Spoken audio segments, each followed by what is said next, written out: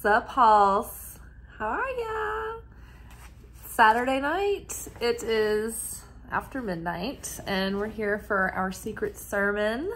This is our weekly segment entitled Secret Teachings of Jesus. And if you are interested, you can go to my channel and find a whole playlist for Secret Teachings of Jesus.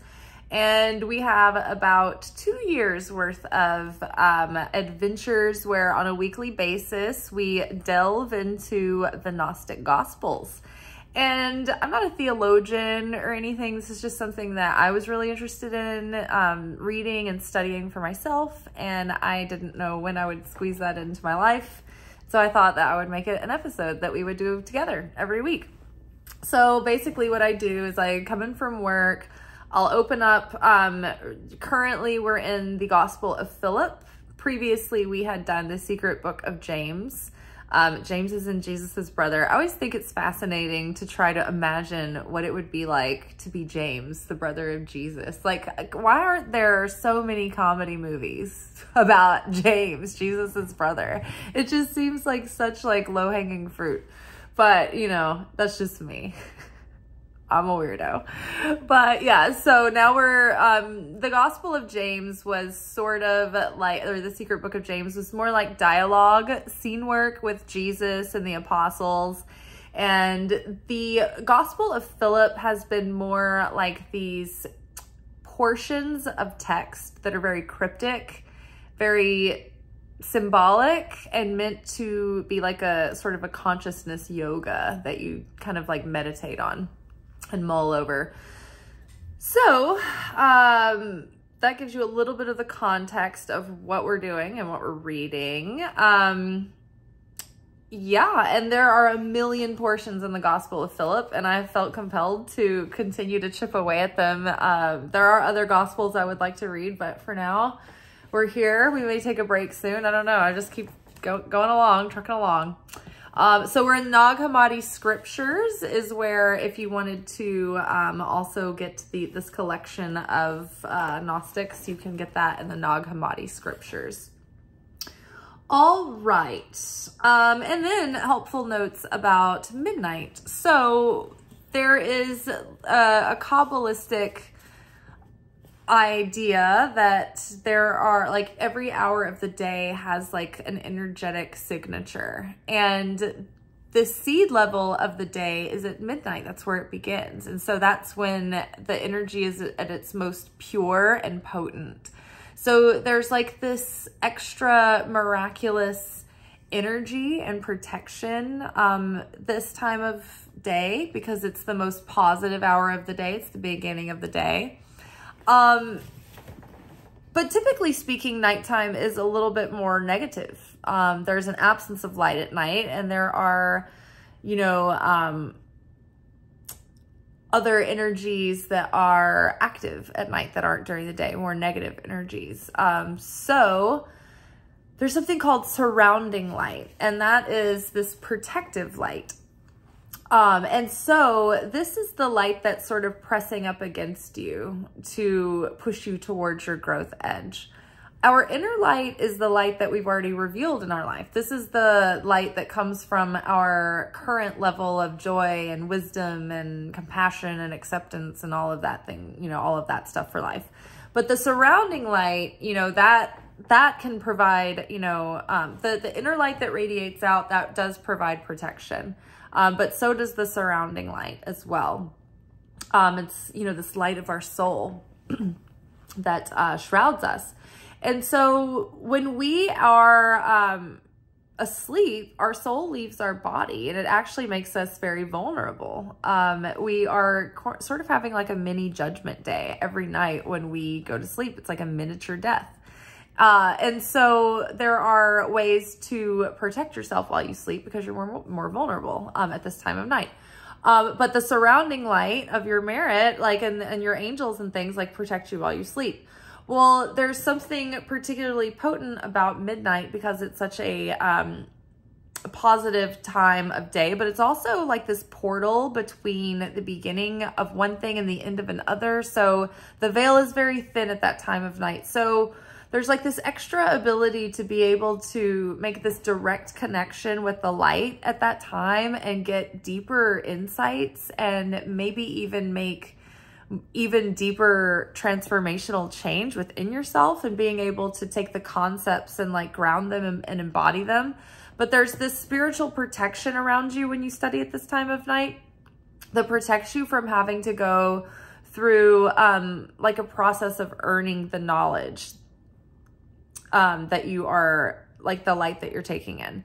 So like an again, example of this is if you've ever read like a spiritual book or a self-help book, it's almost like clockwork. Like the moment you sort of like start getting into the book and reading the table of contents, even it's like you're you're automatically just challenged in that area. Like the phone will ring, or the next time you leave the house, like something happens, and it's like, oh, okay, well we're in the book, we're in the material, we're already in the work. So that's what it is. It's like when you start to use your free will to participate in spiritual growth spirit is then like, okay, great, we're in this. Um, okay, well, here's the resistance so that you can grow spiritually. it's like, well, you asked for it. This is great. We love your participation. We needed your free will. Um, yeah, so basically when you get, when you receive the light and when you learn about something, you have to go through a situation in life that helps you exercise that lesson. Um, there's a concept that we've talked about on this channel before called bread of shame.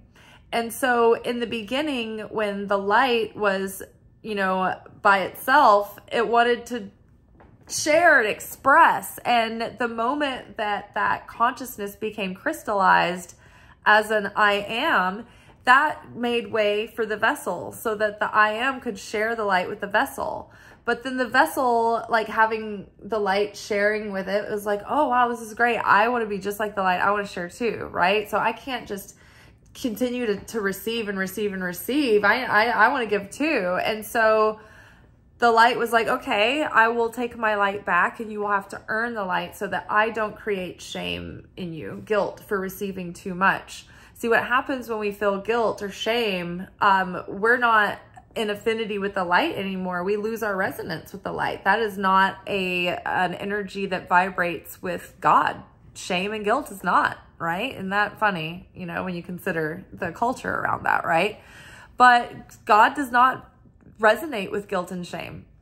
And so when that was that was what happened with Adam and Eve in the Garden of Eden, you know, and that in that sense, the divine masculine, divine feminine was separated from the divine when they felt the guilt and shame and tried to clothe themselves in the flesh, right?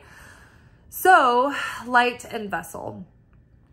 If light gives to vessel without a process of learning and earning and embodying the lessons without earning the light, there is um, a phenomenon called bread of shame. And you have this like resentment, like you don't want it. It's like, oh, it's too much. And like you might have experienced this in your life. If someone is like over giving to you or there's no reason why you should be receiving all that they're like gushing over you and you're like, this isn't, this is weird. Like, I don't want, you know, that's what that is. It's like bread of shame or like spoiled kids who end up very angry and resentful to their parents. And Their parents are like, why don't you appreciate me? I've given you everything. It's like, this is, it's the result of bread of shame you need to earn something to feel good about it and also to be able to resonate with it for real, to understand it for real, to be able to appreciate it, to be able to embody it, for it to be genuine. So, having said all that, um, we if we start learning deep concepts, then we're going to attract opportunities for us to embody the lesson. And to an untrained eye, it's like people think like, oh, wow, you get involved in, you know, reading this stuff and then weird stuff starts happening. You get all into all this mysticism and then, you know, chaos. And it's like, well, the chaos is already happening.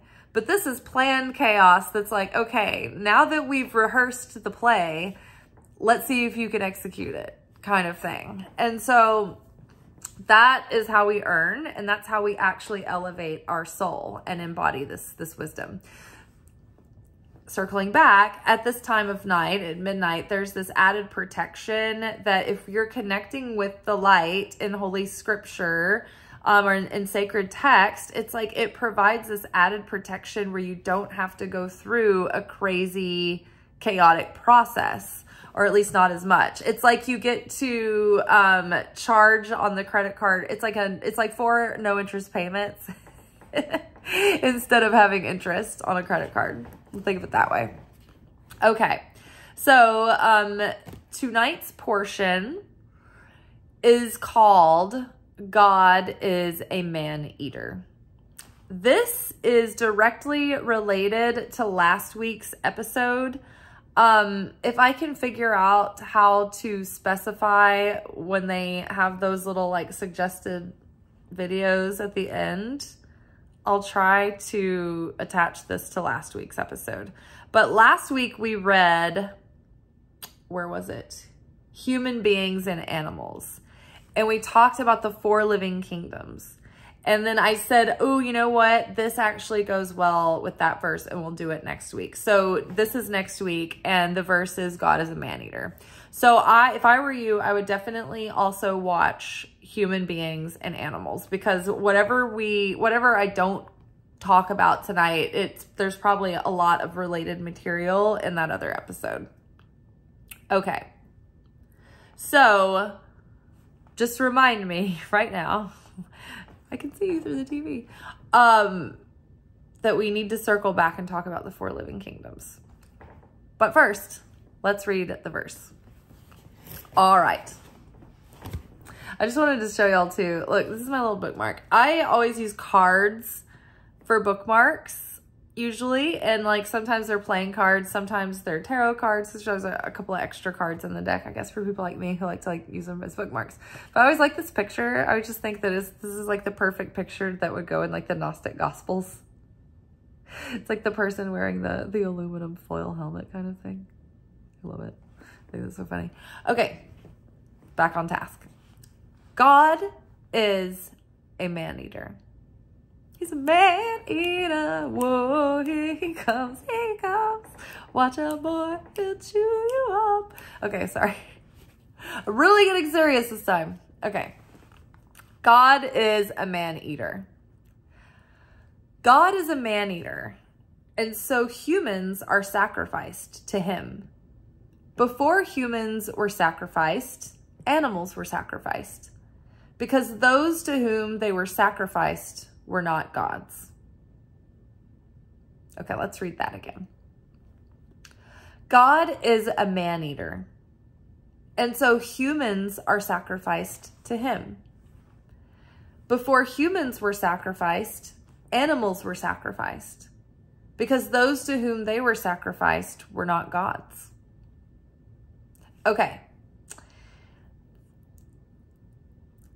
just before we get into like the the four living kingdoms. When it says because those to whom they were sacrificed were not gods there's a couple of things going on. So when people translate the gnostic gospels sometimes there are um i haven't gotten to these books yet but there are books and translations or interpretations that are suggesting that there's like these different dimensions and realms um, that are greater realities called like mysteries. And like there are beings called the archons and there's arguments that like there's like a demi like God in between the God that we think of as God that's like not as benign or so in a way this could be referencing those other God ruler beings. Um but sometimes also I feel like that's uh, well I was gonna say it's like almost too literal, but then there's so many, there's so much abstract like things that go on in the unmanifest and in the intrinsic realms and in the non-physical realms. Um,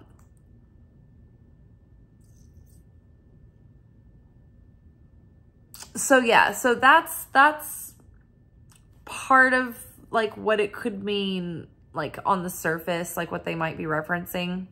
But also, I think last week it was that we talked about how every time you read the Bible, you should be reading it on four levels. And there is a Hebrew word for orchard that I don't know, can't remember, can't recall. But I do know that each letter of the word orchard is the first letter of the word that represents the level of each of the four interpretations. And so one level is like surface level. It's just like, what are we talking about? Like, is this like, this is kind of like a moral that apply or like not even a moral that applies to life, but this is just like life lessons, like mundane, like, you know, whatnot. And then there is a deeper layer that is more like the emotional underlying, you know, theme. Like what's the moral of the story here? What's the heart level? And then there is the soul level. What is this speaking of symbolically that is speaking to our soul's transformation?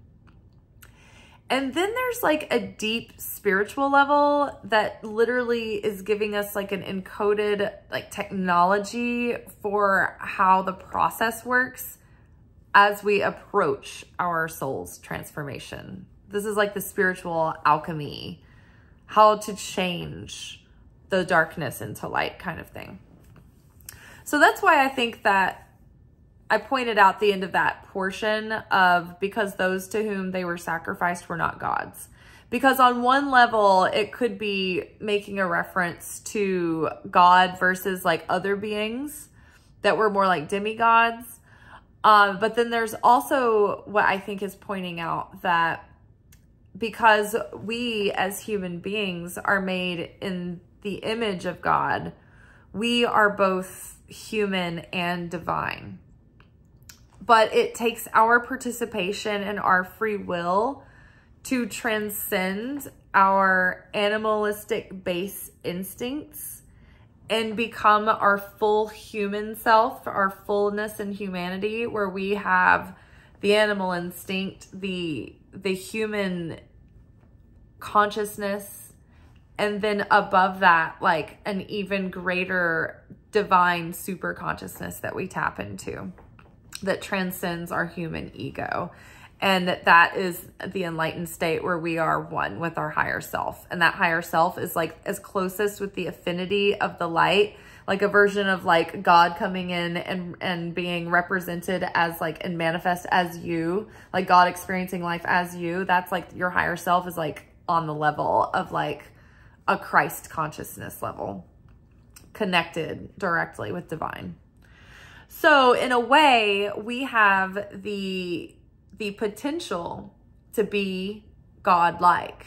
Um, we have that in our DNA and in our being but it takes our ability to come back lifetime after lifetime and try to go through tikkun correction, which is our soul elevation, where we transcend our lower aspects, the lower animalistic um, base instincts, our reactivity, our our lack of self-mastery, our lack of self-control, our lack of sovereignty. We become sovereign so that we can finally actually exercise our free will. Otherwise, we're really just going through life on autopilot and we're going through life in a state of animal consciousness and we are reacting in survival mode and in trauma response and in hunger and in craving and in, you know, all of those sort of unrefined primal base instincts, right?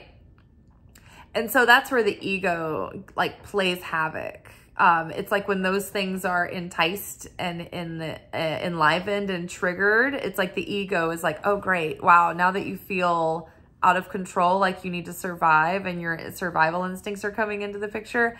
Now I, now I've got real control over you. Now I can drive you in any direction because I'm going to use it as an excuse to like keep us safe. Right keep us all safe. We're all, we're all like, you know, panicked right now. You know, we're, I, I've got it all under control, right? Ego's got it under control.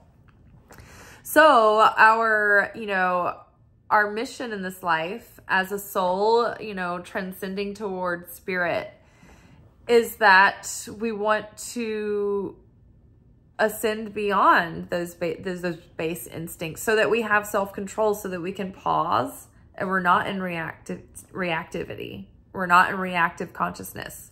We're not in effect consciousness. We choose with our free will and our consciousness and our awakened awareness.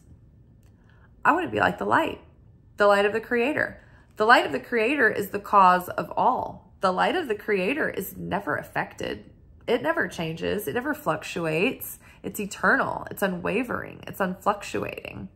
So in order to be like that, we can't be affected by when the wind blows, when we're startled, when we're jumpy. We have to be stable, steady, right? And that's what gives us our power in any given situation.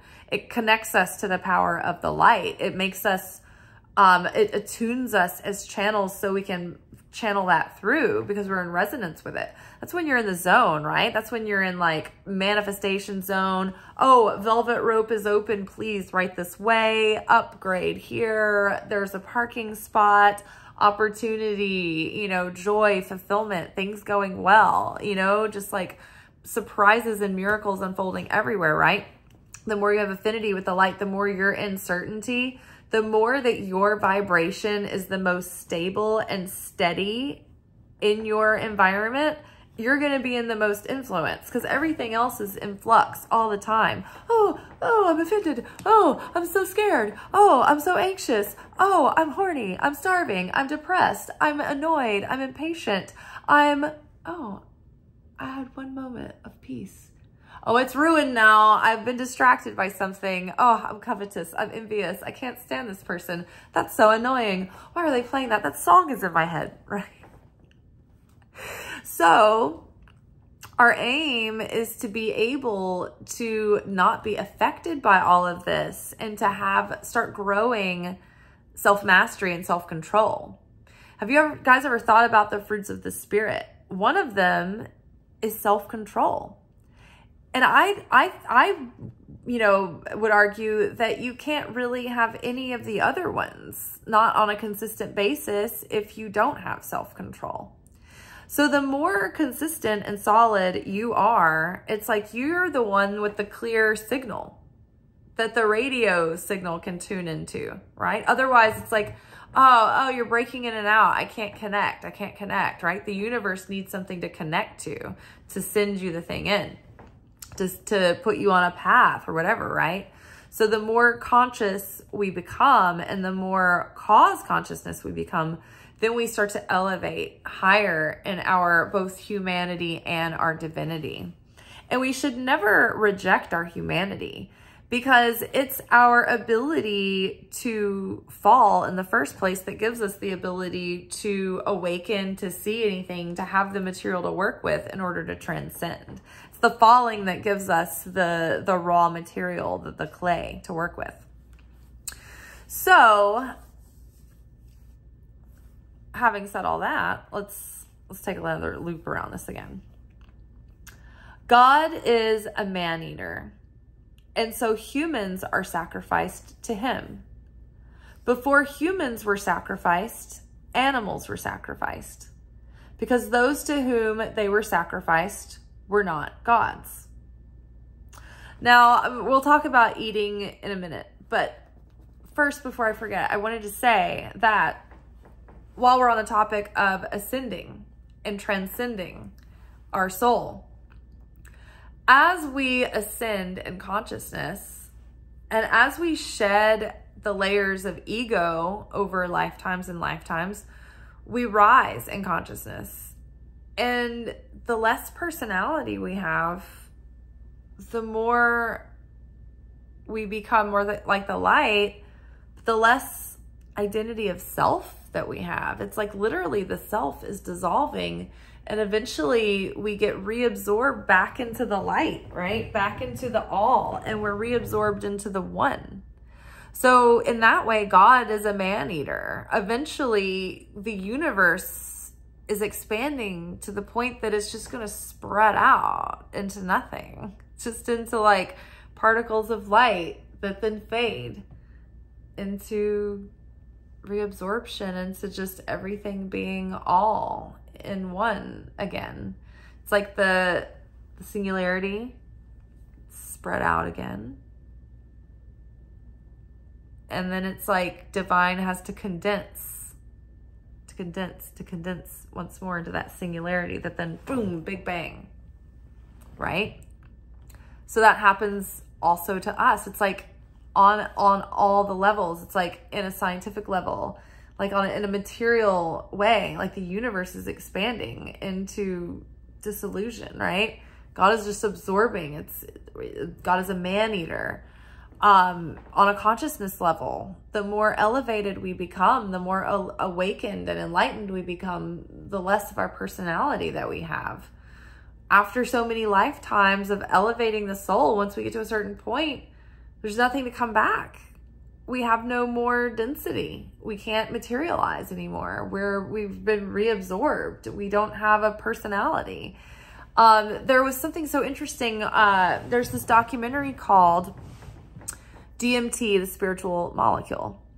And this particular documentary was about a study done with DMT in a medical environment so that it was liquid injections to into the the bloodstream of DMT and it was like a, a you know a, a, study done in a controlled environment it's all legal um, they had three um, adult participants or at least these ones that were in the uh, the documentary and one of the men, and these weren't like drug addict people. These weren't even people like me that would be like, yeah, I want to go do it. Yeah. It was like very sober, you know, very, like one guy was like a shaman, and this is the one that I'm going to reference.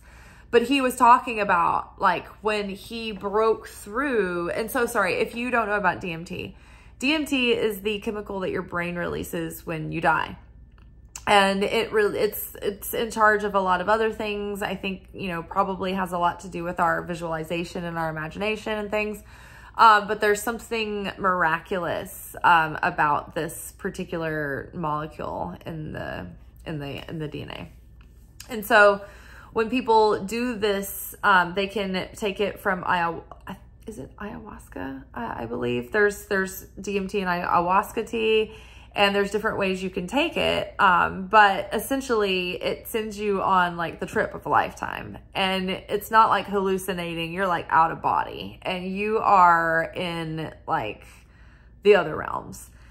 And so this one man, he was like, I kept ascending so far that he was like, as I was leaving my body, he goes, I could feel every layer of me leaving and he was like, at first it was like the people that I loved and cared about, like they left. And like, then like, it was just like all the parts of this man's personality were melting away as he was becoming like going deeper into the outer realms, the outer space, but like the, the unmanifest. And as he was getting closer to being absorbed into like the all, he was like, it was scary to him because he was like, oh my God, like, I don't want to leave my humanity behind. Like he could feel himself leaving behind the soul, the body, the the connection to the body and he was becoming totally spirit and he was like, "Oh, oh, I don't want to I don't want to lose myself." He was getting almost absorbed. Like I think maybe Enoch, right? In the in the Old Testament, Enoch was so like such a deep prophet and he was so connected with God. E Enoch walked with God all his days. And then one day he wasn't anymore or one, one day he was not. And it was like he was absorbed, right? So God is a man eater. Um, God depicting God depicted as Saturn. Saturn is a man. Um, I think eating his children is what is usually the way that um, Saturn is painted in classical paintings. So God is a man eater. God is a man eater. And so humans are sacrificed to him. And so as our souls process, our purpose here is to, it's like we are God's consciousness being projected into a realm so that God can participate and experience other through the self because there wasn't anything but God at first. So God had to peel off pieces of God in order to have other, right, to share with, to have vessel. So in the beginning, it was like God was in a unified whole and oneness and then became separate to experience vessel. And then Vessel had to go through a process of forgetting who Vessel was in order to return back to Vessel and reconnect in unity again. And so the more the vessel has affinity with the light, the less shells the vessel has, right? So we get reabsorbed back into the all. God is a man eater. God is a man eater. Oh, here he comes, he comes. Watch out, boy, he'll chew you up.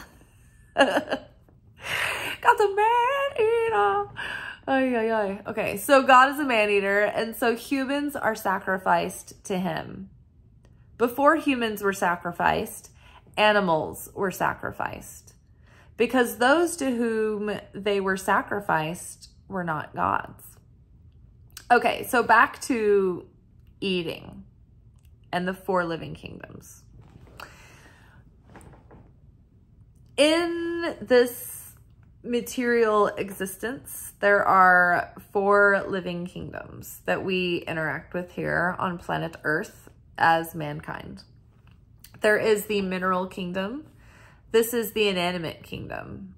Uh, this kingdom is alive and it does have consciousness and there is a purpose to the mineral kingdom.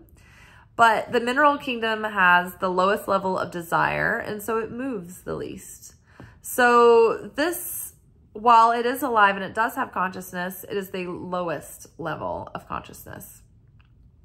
And so the, the next living kingdom is called the plant kingdom or the vegetative kingdom. And so this kingdom is slightly more complex than the mineral kingdom. This kingdom has consciousness. This kingdom actually does move ever so slightly, very slowly on its own, and has slightly more desire. So what happens is the mineral kingdom is sacrificed for the sake of the higher kingdom, the, the plant kingdom, the vegetative kingdom. So in that happening, the vegetable kingdom absorbs the mineral kingdom. And then in that absorption, because the mineral kingdom has supported the life and nurturing and perpetuation of the, the vegetable kingdom, the mineral kingdom has then been elevated on a spiritual level because of that, because of their sacrifice. They have been elevated and lifted up. They have become absorbed by the plant kingdom. And then they are now part of a higher, more elevated, uh,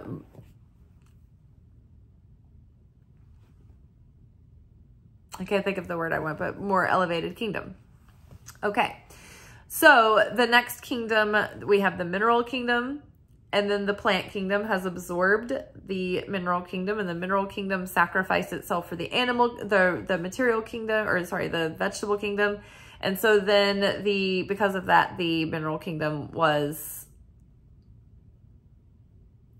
ascended, transcended, elevated, brought up. Can't think of the word, tired. So now we have the vegetable kingdom with its consciousness more than the mineral kingdom, but less than the animal kingdom. The animal kingdom has more consciousness. The animal kingdom, um, you know, the vegetable kingdom does have intelligence and it does communicate. Trees and all kinds of uh, flora and fauna communicate through mitochondria, I think is the word. But this is like um, like a fungal system through their roots, and they trees telepathically communicate. They can send one another things that they need. Other plants, they they speak.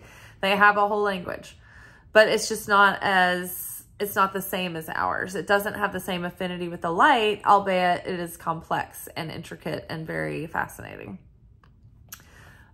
Fast forward to animals. Animals have a more developed personality, I don't want to say that they're more intelligent than plants, but they might be. They're more complex in their intelligence. Uh, they have more dimension, right? Animals have personality. They play, you know, they have different kind of attitudes. Like they're not all the same. And I, I've learned recently that maybe plants aren't all the same either. They have different personalities as well. Subtle, subtle differences. So, you know, animals are affectionate with one another, you know, they they don't have a soul that has like a tikkun process that they go to through, but people can come back and be reincarnated as animals as part of their correction process.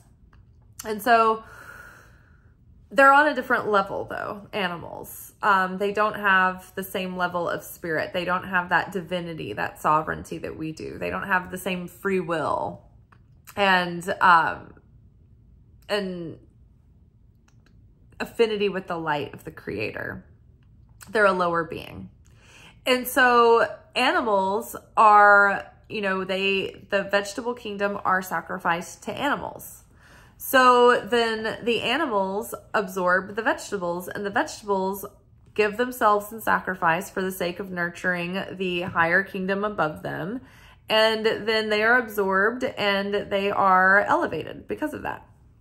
So the animal kingdom has more desire also than the vegetable kingdom or the mineral kingdom. So they move more, right? They, they're in motion. They are locomotive beings. So then we get to the, you'd think it's going to be human kingdom. It's not what it's called. It's called the speaking kingdom. We are the speaking kingdom. And that gives us the most affinity with the light. The fact that we can speak our thoughts and our consciousness makes us, gives us affinity with the creator. Because the first thing that the creator did was let there be light. There was a, an audible sound made, which was described as speech. And so what gives us affinity with the light of the creator is that we can speak our thoughts we can take a thought and bring it from nothing and make it into something. Our thoughts, I'm sorry, our words are very powerful. We have the power of life and death in our tongue. Our words are like spells all the time. They're orders out into the universe. So we need to be really careful and intentional about the kinds of words that we're using and choosing and what we say, what we speak about ourselves. Um, I'm very conscious now about what I will attach to I am or I'm, right? It's like you don't want to speak that on yourself, or maybe you do, depending on what you're saying.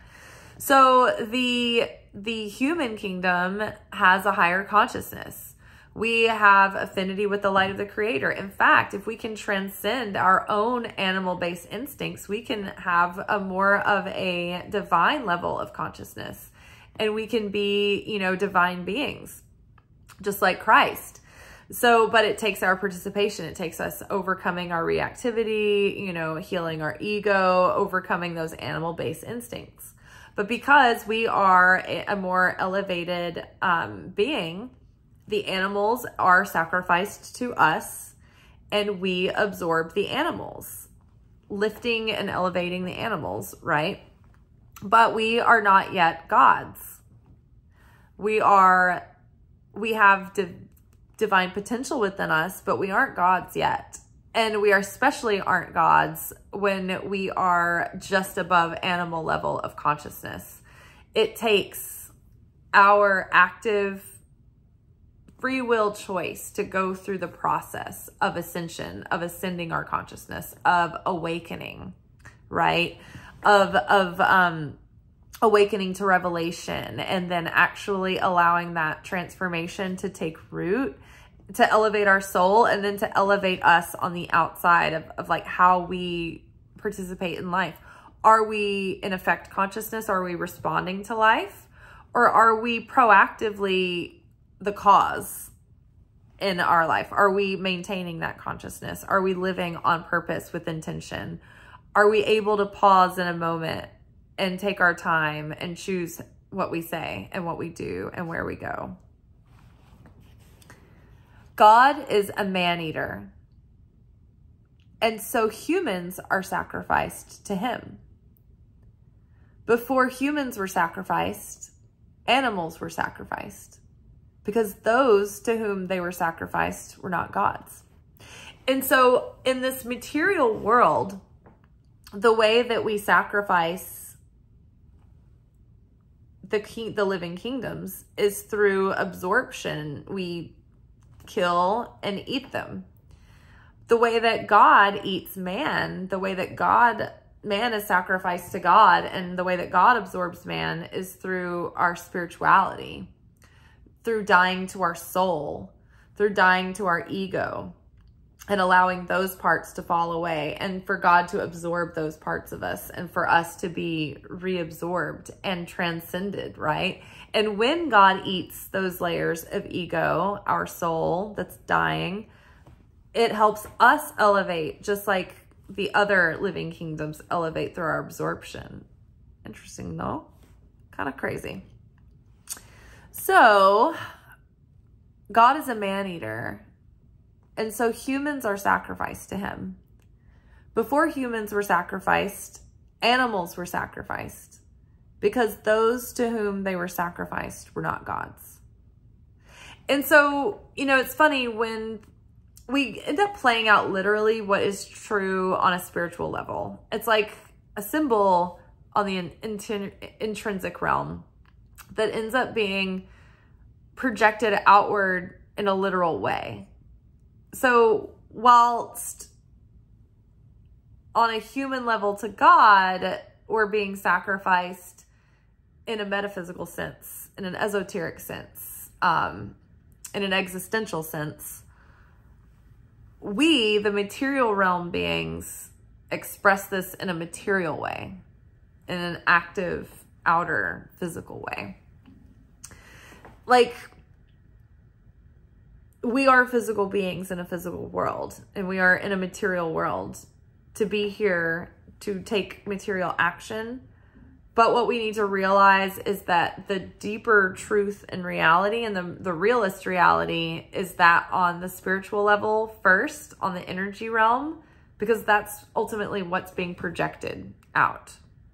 It's like, we're like, no, we're the screen. We're the movie. But like, it's like, you're just, we're just the screen. The, the projection is coming through the light that's going through the, the negative, the film and then the picture is being projected onto the screen. But we in the material realm are like, no, it's all about the screen. People are in the screen. It's like, no, it's not, it's not really the screen. The, this can change. We can take out the, the whole movie can change at any moment. Like it's really like we're, the light is projecting through the scenario and, and you know, that's the real thing.